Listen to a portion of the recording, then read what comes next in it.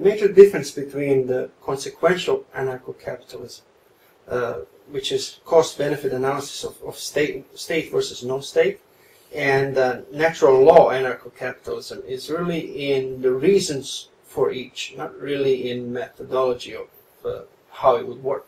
That's that's a little complicated because in practice, I think people who try to derive their anarcho-capitalism from moral arguments tend to imagine that the way you get a law code is that legal philosophers figure out what the law ought to be and then everybody follows it. Whereas the model that I've described in Machinery of Freedom is one in which the law itself is being produced on a competitive market, in which individuals are choosing the firms that will protect their rights. Each pair of firms is choosing a court that will settle disputes between its customers so they won't have to fight each other. The courts are then generating laws trying to have the legal rules that people want to live under so that they will be able to sell their services. And you therefore, in that model, have a legal system which itself is coming out of the market rather than derived by philosophers. Now, I could certainly, there's no reason why somebody who believes in a natural rights argument couldn't be in favor of my system.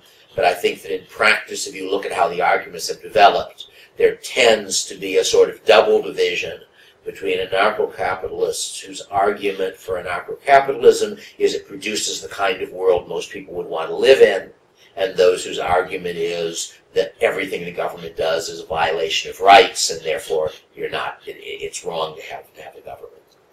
Would it be fair to say that pertaining to laws in, in anarcho-capitalist society that uh, natural rights anarcho-capitalists they would they would end up with some laws that are written in stone, whereas uh, the consequential anarcho-capitalism would everything would be uh, actually up to the market. Yeah, that is the. I don't know what the natural rights anarcho-capitalists would end up with. After all, when the legal philosophers figure things out, they might not come up with the conclusion the libertarians like. Uh, but I think they imagine such a system. They imagine a system where the basics of law are set by what's right, and then details, uh, you know, how many signatures it takes to for witnesses to a contract or something could be up to the negotiation. Uh, but the but I think the more fun. I mean, that's there. Re, it's really two disagreements. One of them is how you imagine the society working, and the other is what the arguments are for it. And in my view, I mean, the, let me give the other side. The natural rights argument, people would say, how can you have a consequentialist argument? Because you need moral views to evaluate your consequences. How do you decide what are good consequences and bad consequences? And my answer to that is that in practice, most people have enough agreement about what they see as good, and the anarcho-capitalist system is enough better by their standards than the alternatives that if we could settle the question of how the system would work, of what outcomes it would provide, most people would agree in supporting it so that if suppose somebody says the trouble with a libertarian or an anarcho-capitalist that the arguments really apply however far you go is that it doesn't redistribute in favor of the poor and one answer that a natural rights person would, would, would, would make is the poor are not entitled to have other people's money. But a different argument is why do you expect political institutions to help poor people when after all, poor people are not very well politically organized, they don't have much money to bribe politicians with. And if you look in the real world, you observe that governments do buy the votes of the poor, sometimes by giving them welfare money, but then they also do quite a lot of things, such as having professional licensing so that a poor person can't decide to be a barber because in order to be a barber in many U.S. cities, you have to take several hundred hours of classes and why do you do that? Because the existing barbers want to keep down competition. Uh, it's true of many, many other professions. There are a whole lot of ways in which the state intervenes in order to help whoever are the ins at the expense of the outs. I suppose the very largest ones of those would be restrictions on immigration, where uh, there are many millions of people who would much, live much better lives if they were free to come to the U.S., which in a libertarian society they would be but are prevented by the U.S. immigration immigration rules. So in general, one argument is to say what you want is immoral, Another is to say, you're imagining that not only you have a state, but you are running it. But you wouldn't get to run the state any more than you would get to run the anarchist society. The state will do what the state will do.